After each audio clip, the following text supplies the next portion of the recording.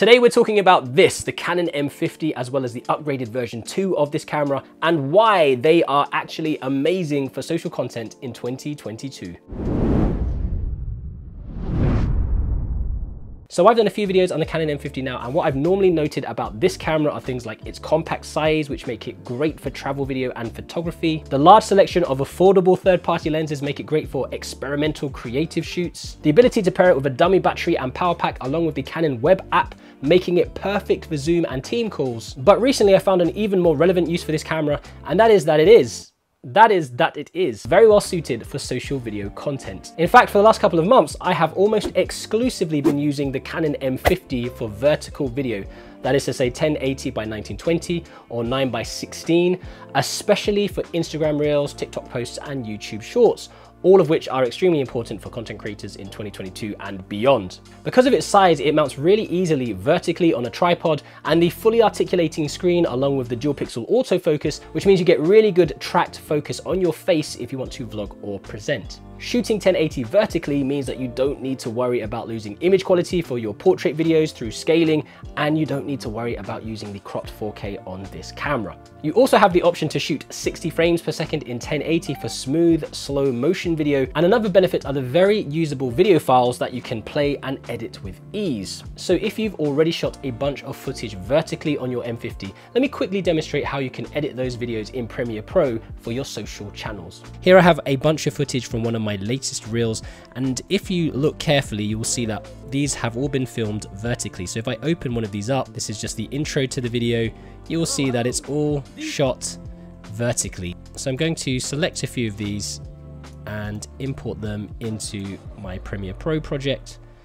And if I click on them here you'll see they are shot vertically. I can select all of them right click go to new sequence from clip and it will have created my sequence, but of course everything is sideways. So I want to adjust now my sequence parameters by going into sequence, sequence settings, and then changing the frame size from 1920 by 1080 to 1080 by 1920. They're going to hit OK. It's going to say, is it okay to delete all previews for this sequence? And I'm going to say OK. Now we have a 1080 by 1920 aspect ratio, but our footage is still not the right way around. We can change that by selecting on our individual footage, going to effects controls in the top left tab, and I can change the rotation. So depending on which way I filmed, I can either go to 90 degrees like this. For this example, over here, I will change it the other way. So I'll go minus 90 degrees to get that correctly oriented.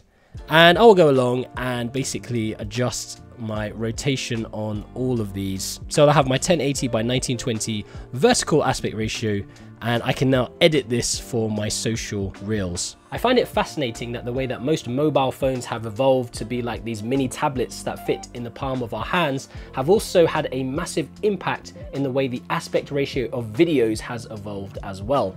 And particularly for short form videos, there are many of us who have been creating content for a while, particularly on YouTube, and we have gotten very accustomed to filming horizontal or landscape or 16 by 9 or 1920 by 1080 video, and we have it almost burnt into our brains that that aspect ratio is the correct way to create and view content. So getting over my own prejudices of what makes a good video has taken a little bit of time and I've had to shift my mindset to a portrait way of thinking. And this is even more important for me personally as a corporate filmmaker. I've had clients request videos where they only wanted vertical short video edits.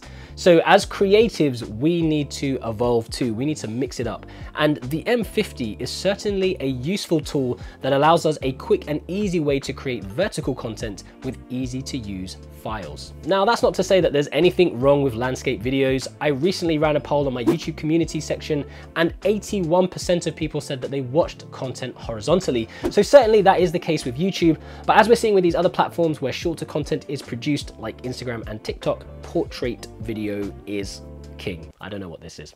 So if you are looking for a camera for mainly vertical video content in 2022, the Canon M50 might be a good choice for you. And at present, the Canon M50 Mark II is selling for $750 thereabouts in the US, around 600 pounds in the United Kingdom. And I've left some Amazon affiliate links for it down below. You won't pay up anymore, but I will get a little finder's fee for taking you there. So what are your thoughts on vertical video, particularly if you've been making content for a while horizontally? Have you embraced it? Let me know down in the comment section below. As always, if you found today's video useful, don't forget to give us a thumbs up. And if you haven't done so already, don't forget to subscribe to the YouTube channel and hit the little bell for notifications. So that's it from me today, guys. Thank you so much for watching. All that I've got left to say is stay creative, stay safe, imagine, implement, and inspire. And I will catch you next time on Kai Creative.